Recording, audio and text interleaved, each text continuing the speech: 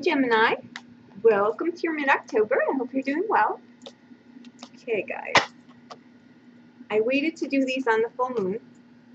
I just love full moons, especially ones in my sign, right? So I thought we would grab all that energy. Good, bad, or indifferent. We want it, right? All right. Here we go. Let's see. All right. Don't forget, guys, watch your sun, moon, and rising. Okay? If you choose. I shouldn't say that. If you choose.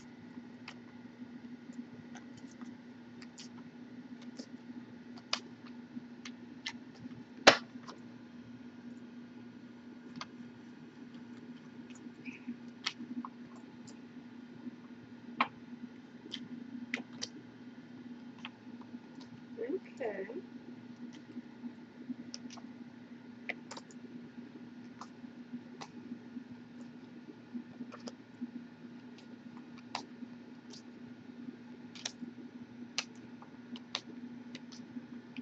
Hmm.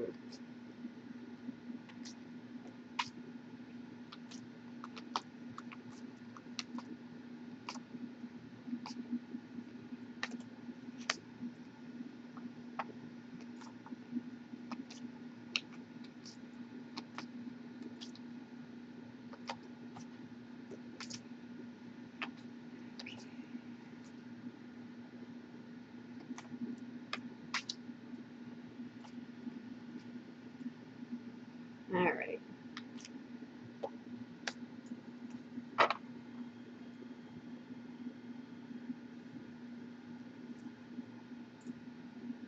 Okay.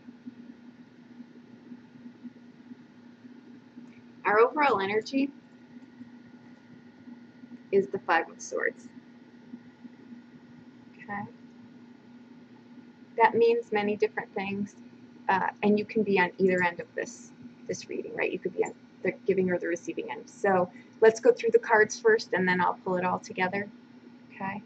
This is card though of, um, you know, it's either overpowering someone, being overpowered, uh, a shallow victory, you know, saying something that, you know, either way, fives need reassessment when they show up. They come with a, a warning attached to them, regardless, that you need to look at something differently. You need to uh,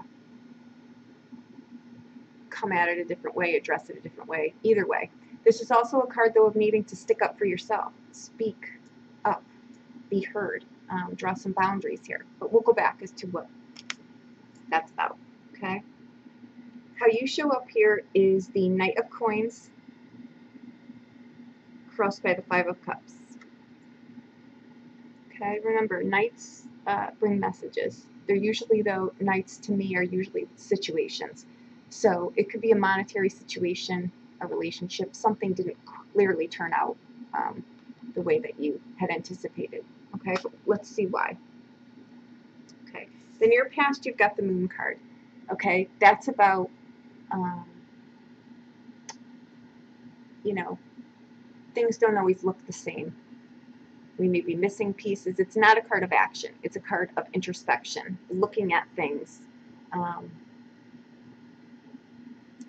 fears. It's also after we go through something, it's it's you know what comes out to the light end of it is is who we really are. Okay, this card always tells you to trust your intuition, trust your instincts. They're not going to fail you. Okay, that's washing over this reading. Okay. Where you're anchored here is the Ace of Cups. Okay, that's um, a new relationship, something that you're passionate about. Um, it's the seed of it. Okay, it's starting. It hasn't gone anywhere though yet. Okay, it's the hand of the divine. Uh, you know, giving you this, this gift. Okay, it's where you're anchored. I love to see that card there. Okay. What crowns you is the Justice card. Okay? She's a karmic card. Trust. Strong foundations. Balance. Uh, you know, morals. Doing things the right way. Um, and her core, she's about truth. Okay? Justice for all. Okay? The near future, you've got the temperance card here. Okay? Temperance is about um, balance, not so much as patience. It's about balance. Okay? After you go through this, what you come out with here after the dark night of the soul is what you're balancing between these two cups. You know, it's what's left of yourself that's, you, know, the fluidity of yourself. You know, so you're you're being kind to yourself. You're rebuilding yourself. You're healing. Okay. Archangel Raphael is in here, so it's healing on any front. Okay. The bridge here where you go is the Knight of Cups. Okay. Again, an emotional journey. It's a situation that's got an emotional pull attached to it. Okay. It's got some some pull to it.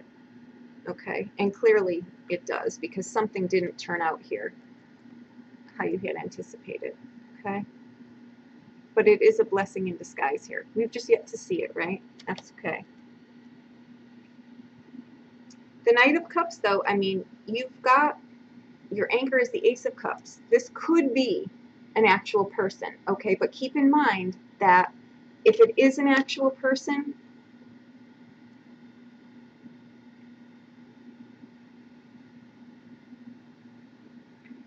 I'm going to say this. Sometimes a lot of what they're bringing to the table is illusionary. It's been thought through up here. It's just that's all that it is. It's, they're they're not they don't drop anchor sometimes. Okay, unless they're at the end of this journey. But this is an emotional journey. I don't think this is an actual. Um, let's pull it together at the end. Your home, your day to day, is the magician. Okay. that's again a card of uh, telling you you've got all that you need to bring to manifestation what you're trying to do here. Okay. Um,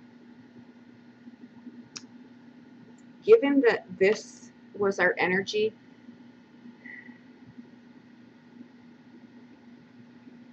make sure that you're not or are not being either end of the coin, guys. Make sure that you're not over manipulating, manipulating someone, okay? Because these two cards can actually speak of manipulation being done to you or, um, you know, you're the one doing it. One of the two. It can can speak to that.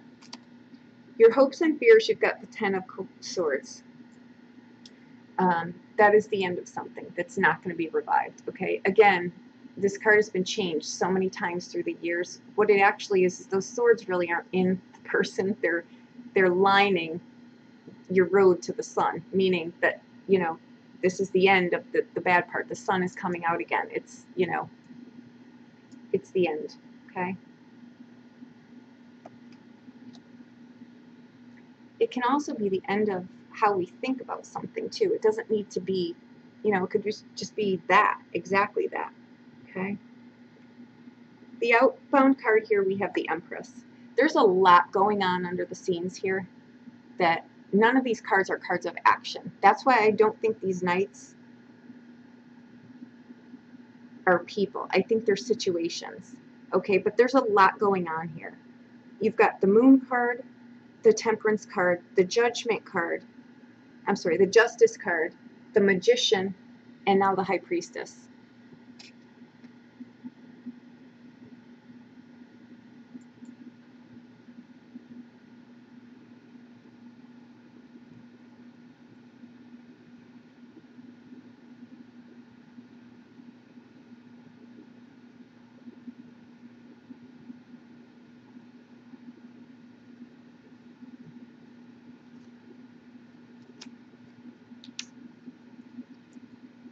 Our overall energy is the Five of Swords. Underneath it is the Ten of Coins. Okay, that's the inheritance card, the estate card, the family card.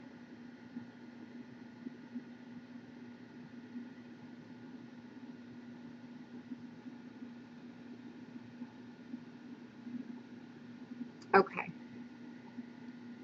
I'm going to say this. You've got a lot that you're not aware of right now. Now's not the time to be making a move. Okay, now is the time to be really trusting your intuition. If there's something under the surface that you're dismissing, don't, because it's your intuition telling you to, to pay attention to this. You've got, you know, like I said, the Justice card, she's all about truth. You've got the Empress, she's about, you know, wisdom, inner wisdom. You've got the Moon card, which is, you know, a card of, you know, you've got to let the stuff that's not valid fall away. And you've got the Temperance card, which is a card of healing after something has blown through your life. Okay? Hang on. Don't worry. I won't leave you hanging. We'll look at this. I tend to think something didn't quite turn out how you had anticipated. The good news is, though, that it's over. The worst of it is over, okay? I think it hit you on a financial front, and I think it may have hit you on an emotional front here. Okay, but it clearly was not what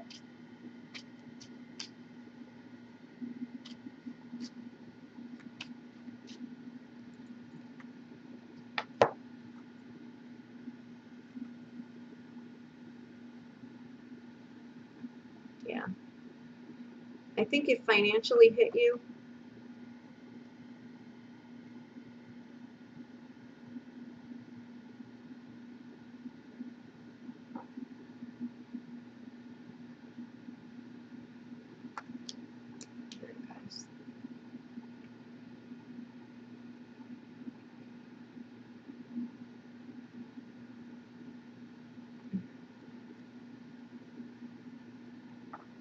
Yeah.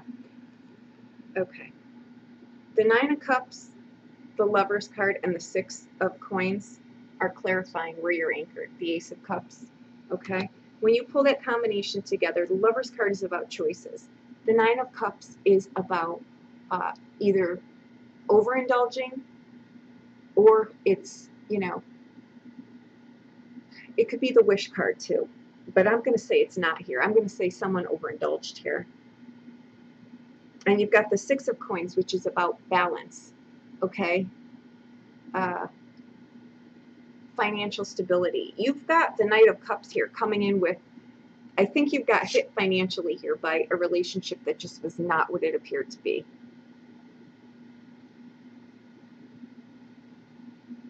That's what I'm going to say here.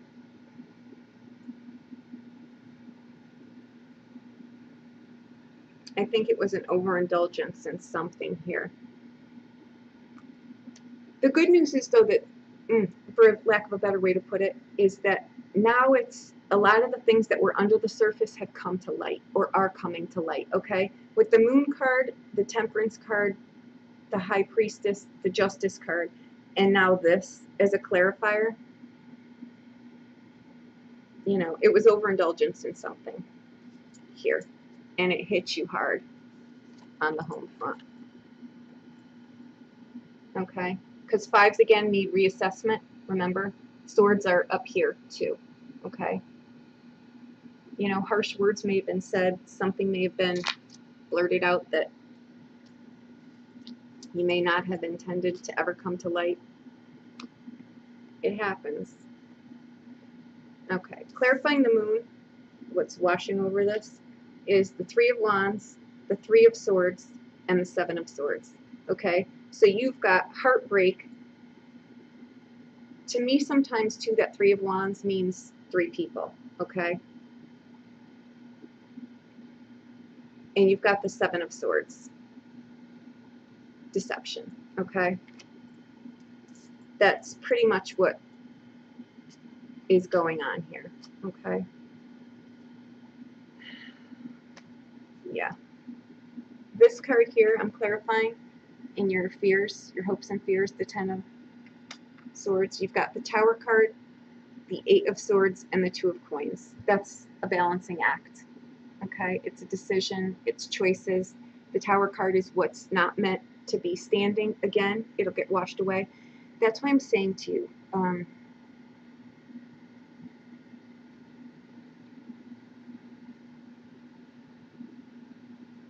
Eight of Wands too is I think something got blurted out or something got found out that wasn't supposed to. Or however it is, the Eight of Wands is is rapid communication. It's, I think something may have just blurted out. But what I'm going to say here is with the moon card, the temperance card, and the high priestess. Okay? And the magician card. If you're on the receiving end of this, you're going to come through it. And you're going to come through it fine. Okay? Trust your intuition here. That's what's really calling to you here. Okay? Justice is, is at the top of your reading. When she shows up in this kind of read, you're going to get what's coming to you. Okay? Um, and that's you know balanced with whatever end of the you know scope you're on here um, but this card and this card they go hand in hand okay what you come out with here um, may not look like a blessing in disguise yet but it will okay okay all right guys I hope that I've helped you in some way um, if you need further clarity, just reach out to me. Okay, I'd be more than happy to look at anything for you. Uh, I hope you have a great uh, rest of October, and I'll be back with videos for November. Okay, thank you so much.